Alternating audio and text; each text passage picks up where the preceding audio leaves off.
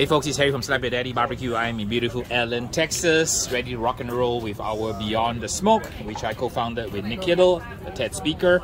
We have about 20 plus students here doing a sustainable invasion micro conference and we've got all of the folks here lined up in Allen, Texas and everyone is cooking and split into teams and they'll be doing a mock barbecue contest to showcase teamwork project management, sales, and marketing. And everyone is going to be prepping tri-tip, chicken. Also, we have a curveball, which is going to be jalapeno poppers. And they have a little station here where they can get product. And everyone is busy preparing a presentation for the cook plan, a presentation for how they do the meat, and some beautiful, beautiful artwork going on right here. That is a gorgeous chicken getting the sauce from Michelle. Michelle's helping me do this Beyond the Smoke inaugural event in Allen, Texas. We're training 20 plus students from four cities in the art of barbecue, smoke, and fire using a mock barbecue contest as the format to teach team building. All right, gentlemen, what's cooking here? We're doing bacon as a presentation piece to go around the, the, the poppers. poppers. Wonderful. And what, what, what did you do with the poppers? We, we stuffed them with the sausages uh -huh. and uh, uh, dry rub for the dry, cheese. dry rub and cream, cream cheese, and you got some rub on it. What's happening here? We're getting too hot. I've never used a charcoal grill before. Okay, so it's the first time. First time. Gotta we'll move things around. I got some easy bake ovens at the house. That was not grease. Grease was making it and we have some uh, some uh, interesting box presentations. You overcome the challenge. Wow, purple cow! You guys uh, took my word to the presentation. You got a purple cow. Chicken and purple cow. Okay, listen. Extraordinary, ordinary barbecue. That's what it's all about, man. You're gonna love it. Wow, that looks really, really good. Looks delicious. Yes. We also put a little bit of spice on the bacon, so we have two different presentations. And if you want to be omnivore or carnivore. Okay. Okay. okay. poker face. He's eating with a poker face. Poker face. You can't gauge his expression. It's good. It's all right. These are uh, Magic Mike's Popping Poppers Surprise.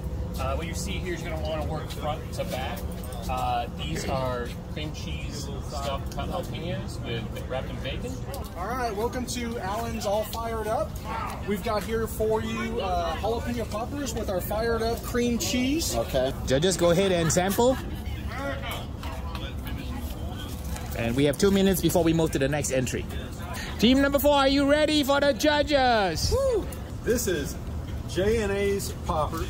So we have the jalapenos cut. We have a full one that's capped. The consistency of it, to see it in there.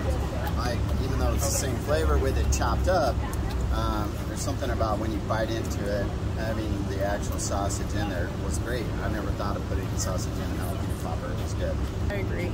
Oh, wow. Yeah. Okay. Two for two? I thought Plano did a great job. And the only thing I will say, if there is an honorable mention, the Fort Worth team did a fantastic okay. job on their presentation, on trying to be creative, but with the core task at hand, Plano okay. All right. brought the best. Okay, we have to go judge in two minutes. Yep. Quickly, yeah. your pick. So I got to where I am by hiring good people and letting them do their thing. So I'm absolutely with Chief. Chief, yeah. Chief okay. Plano. Plano. I, I, I, will have to mention that Allen, when they had the separate mm. uh, sausage bacon, that was a nice treat. That was, was. really great.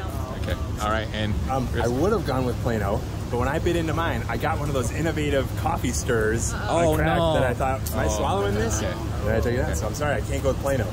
I would go with Fort Worth because I did like that progression.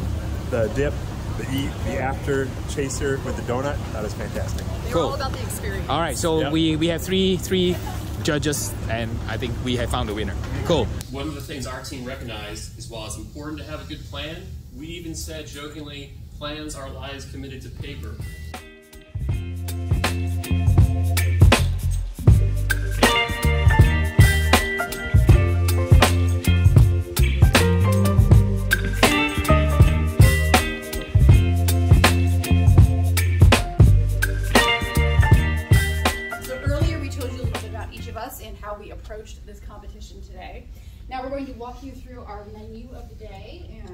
A description of each of the delicious things that you are about to eat.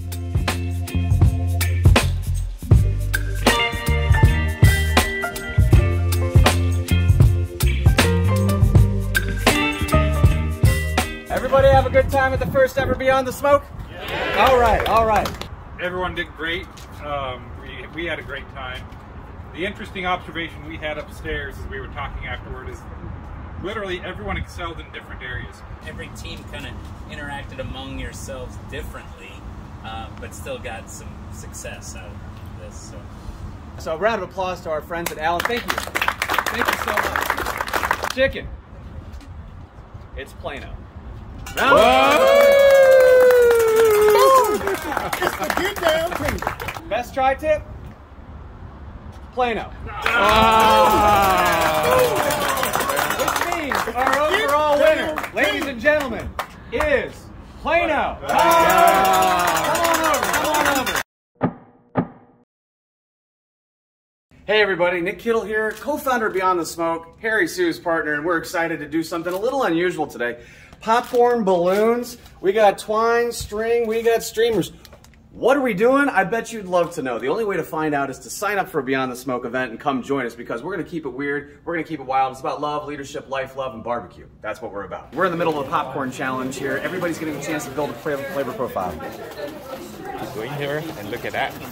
Everybody is using seasonings to make a rub and impress everyone in the popcorn challenge here at our day two of Beyond the Smoke micro conference on how to team build with four cities here in Texas.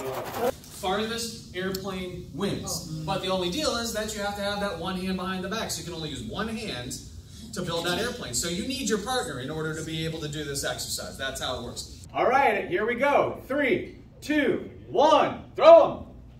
Oh, yeah! Come grab your planes, come grab your planes. Now you know somebody in a different community that can help you get done what you need to get done. And that's part of how we succeed is to form those relationships.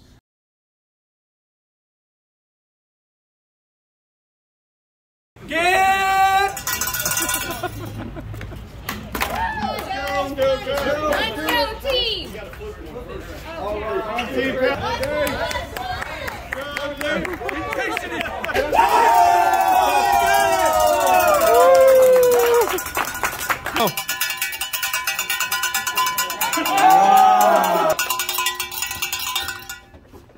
Oh my gosh, now they're both good. Oh, oh,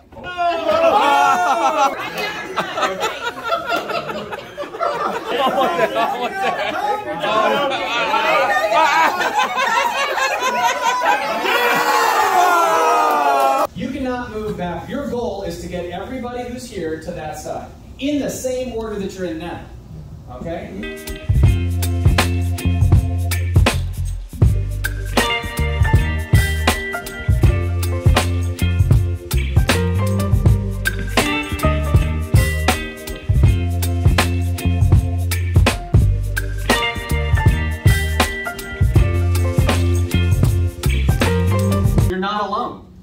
To the others that you've met here. Look, you got career opportunities in other communities now.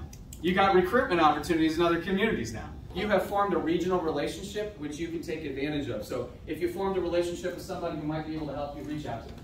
That's me, that's Harry, that's any one of you in this room, and hopefully you'd be willing to do that for each other.